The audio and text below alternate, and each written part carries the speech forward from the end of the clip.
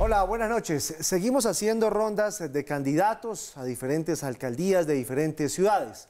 Aquí queremos escuchar propuestas, no queremos peleas. Hoy mi invitado es un administrador de sistemas de información de la Universidad de Purdue de Indiana de los Estados Unidos. Tiene una maestría en administración de empresas con énfasis en finanzas del Instituto de Empresas de Madrid en España. Fue secretario de Desarrollo Económico del Atlántico y consejero para la competitividad en la primera administración de Alejandro Char y fue secretario de Movilidad de Barranquilla. Señor Jaime Pumarejo, bienvenido al punto. Gracias por estar con nosotros. Además vino en tenis, qué berraquera. Ojalá vinieran todos así. No, muchas gracias. Un placer estar aquí, compartir con ustedes esta noche. Y, bueno, sí, ese es el lujo que nos damos en Barranquilla y es, qué envidia. poder trabajar en tenis y, y un poquito más descomplicados que aquí en Bogotá. Doctor Pumarejo, Barranquilla modelo de ciudad. ¿Qué fue lo que pasó ahí que a todo el mundo descrestó y esa ciudad hizo un cambio de 180 grados? Bueno, efectivamente, yo creo que lo primero que pasó en Barranquilla hace 12 años cuando llegamos a la alcaldía con Alejandro Char, con Alex, es que hubo la recuperación de la confianza. Confianza de la ciudadanía en su administración, confianza del país, de los ministerios, del Estado en la ciudad confianza inclusive de la banca de multilateral y luego de la banca local para volver a creer y apostar por esta ciudad. Entonces, yo creo que esa es la palabra clave, confianza. Ustedes lograron cambiar el chip de toda una ciudad. Así es. La ciudad estaba lista, tenía la materia prima, la gente venía añorando un cambio, volver a sentirse que vivían en la puerta de oro. Y lo único que hubo que hacer es acompañarlos y darle dirección a ese buen momento que quería vivir la ciudad. Como te digo, recuperar confianza. Eh, me, recuerdo que la primera vez que empezaron a pagar predial en, la administración de Alex, la gente, le dábamos una pulsera que decía, gracias por creer. y la gente empezó a sentir que ellos también hacían parte de la recuperación de la ciudad. Bueno, vamos a temas concretos. Electricaribe. ¿Usted cómo va a hacer con ese lío de Electricaribe? Aquí casi que a diario estamos reseñando gente que se le daña sus electrodomésticos, problemas sociales. ¿Qué va a pasar ahí? Bueno, Electricaribe es, hoy un karma que vivimos los, los seres del Caribe. Pero hay ya una salida. Primero, Electricaribe fue intervenida por el Estado. Se inició un proceso en el cual el Estado recibió el pasivo pensional y pretende ahora, en noviembre, recibir propuestas para un nuevo operador. Dividió la empresa en dos. El Atlántico, el Magdalena y la Guajira quedaron en una empresa y el resto del Caribe en otra. En noviembre llega el nuevo operador, se sepulta Electricaribe y nace una nueva operadora.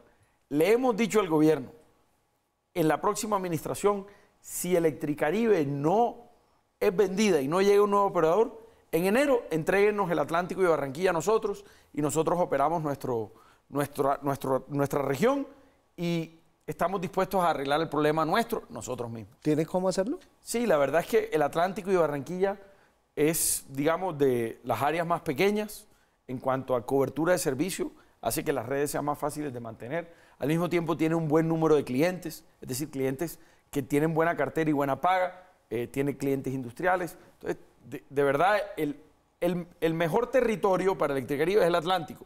Entonces, si no vamos a arreglar el problema antes de diciembre, hombre, que nos los entreguen y nosotros eh, arreglamos nuestra propia suerte. Pero la verdad estamos confiados de que el gobierno está haciendo bien las cosas en el campo de Electricaribe y esperamos que en diciembre llegue la buena noticia para todo el Caribe, no solo para el Atlántico. Y ahí te remato con una, un tema.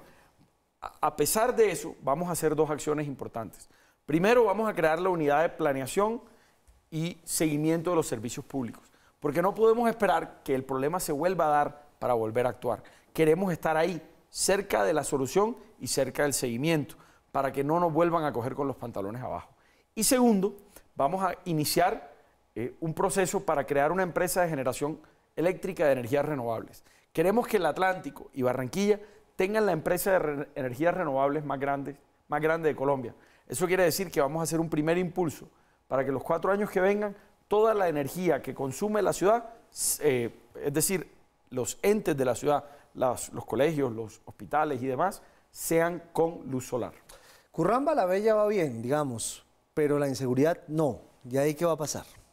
Ahí tenemos un problema en toda Colombia y es que no hemos descifrado cómo terminar de combatir el crimen organizado del microtráfico. Entonces necesitamos tres temas muy coyunturales. El primero, una reforma a la justicia que se ha anunciado mucho y no se ha llevado a cabo para el ciudadano de a pie. Que el ciudadano sepa que si denuncia a alguien y lo meten preso, este va a estar en la cárcel y va a ser resocializado. Pero eso es un tema de gobierno, no de alcaldía. Sí, pero nosotros tenemos la oportunidad de empujar para que eso se dé. Tenemos como colombianos y como líderes y representantes de las regiones ir a, Bogotá y decir, bueno, necesitamos que esto se haga y que se haga pensando en el ciudadano de a pie, no en los debates, eh, digamos, filosóficos de la ley. ¿Cómo hacemos para que esto le ayude al barranquillero de a pie o al colombiano de a pie? Segundo, mucha tecnología. Ahora mismo estamos dotando, toda Barranquilla va a tener el sistema de iluminación de alumbrado público más moderno de Colombia. Va a ser todo LED, pero eso nos permite, hicimos se hizo un convenio con Cisco en el cual se instalan 17 mil sensores. En la próxima alcaldía pretendemos adicionarle a esos sensores cámaras inteligentes. ¿Para qué una cámara inteligente? Una, una moto pasa tres veces por una cuadra para lo que llaman los delincuentes pistear cómo van a hacer la vuelta, es decir, el atraco o el hurto de una residencia. Ese, el, esa cámara tiene la posibilidad de leer esa conducta anómala, es decir, de que esa placa pasó tres veces en menos de 10 minutos y manda una alerta y de esa manera la policía puede actuar de manera inteligente. Lo mismo cuando detecta expendio de microtráfico. ¿Por qué? Porque hay una conducta irregular donde hay un grupo o un, un personaje donde llega gente y se va rápidamente y manda una alerta y dice, señores policías, revisen esta esquina que parece que hay algo raro ahí. Eso es el segundo punto. Y el tercero, y el más importante para mí, es trabajar con la juventud. Los jóvenes que están en riesgo, la juventud en general, darle, darle mucho deporte, mucha cultura, pero muchas oportunidades. Tenemos programas como extender el bilingüismo a todos los colegios oficiales de Barranquilla para que en los próximos 12 años todos los jóvenes que se gradúen del colegio salgan hablando inglés pero al mismo tiempo darles las oportunidades para que puedan ingresar a la universidad y a los institutos tecnológicos. ¿Y el pie de fuerza lo tiene conforme? ¿Lo quiere ampliar? ¿De pronto ha pensado en una nueva cárcel? Hay un proyecto de ampliar una cárcel en, en el Atlántico que daría para todos los cupos que tenemos hoy en día en hacinamiento y al mismo tiempo para liberar más oportunidades de resocialización. Porque ¿qué pasa? Hoy en día también hay un trato inhumano en las cárceles. Y eso no ayuda a que la gente mm, se resocialice. Terminan saliendo peor de lo que entraron por, las condiciones que viven. Y el otro punto que tenemos, eh, yo diría, es entender en Colombia que claro que tenemos un déficit de pie de fuerza. Al mismo tiempo, yo creo que tenemos un déficit de la profesionalización del pie de fuerza. Es decir, necesitamos tener policías más profesionales, más eh, investigativos, menos eh, simplemente pie de fuerza. Necesitamos mejores policías, porque lo que sí está claro es que el gobierno nacional nunca va a tener el presupuesto que necesitamos para aumentar el pie de fuerza a lo que requeriría un país como Colombia. Doctor Pumarejo, el tema de los arroyos. Sabemos que el tema es estructural, que es un tema largo, complejo, pero mientras tanto, ¿qué? Bueno, hoy tenemos la gran noticia de que se han invertido cerca de un billón de pesos en los últimos 10 años y se han canalizado los arroyos que antes se pensaban impensables. Es decir, los arroyos que ustedes reseñaban en, la televisión. Cierto, siempre. Sí, ya, ah, inclusive hay, un, hay una cita de un ministro de Estado de Transporte que decía, es más barato mudar a Barranquilla que arreglar los arroyos. Correcto. Pero hoy los arroyos, esos que salían en televisión, son cosa del ayer. ¿Qué nos falta? Nos faltan dos arroyos importantes y muchos arroyos barriales. Eh, hemos invertido, como les decía, más de un billón de pesos con menos de 120 mil millones de pesos, en los próximos cuatro años podemos acabar los arroyos barriales y con menos de 150 terminamos un arroyo que nos hace falta, que es un, arroyo llamado el arroyo del 85. ¿Y eso cómo se canaliza? Eso es prácticamente hacer un, viaducto subterráneo, así como excavar para un metro. Se excava hacia abajo, se crea un viaducto donde el agua pasa por debajo y ese es el recolector de las aguas del alcantarillado pluvial. Ahora el reto que tenemos es seguir haciendo el alcantarillado pluvial del resto de la ciudad. Pero ya quedó canalizado inclusive con ingeniería criolla. El último arroyo que se canalizó ha sido canalizado con una tuneladora. Entonces cada día hemos ido innovando, pero lo bonito es que se ha ido haciendo con, pues, con ingeniería local, criolla, barranquillera, colombiana. Bueno, la situación del puerto de Barranquilla, ¿cómo va a hacer usted para ponerlo a producir al doble, al triple, lo que, como debería estar ese puerto desde hace mucho tiempo? Bueno, El puerto de Barranquilla se inauguró en 1936. Desde ahí no hemos dado un salto. Sí. Y ya es hora. Por eso tenemos un proceso que dura tres etapas. La primera, pedirle al gobierno que nos delegue lo que deberíamos hacer nosotros. Todos los puertos del mundo que son exitosos, Rotterdam, Mississippi, Nueva York y demás, tienen una delegación y una autoridad portuaria. Nosotros hoy, el distrito, a través de sus puertos, paga una contraprestación portuaria para que su dragado y su canal estén en óptimas condiciones.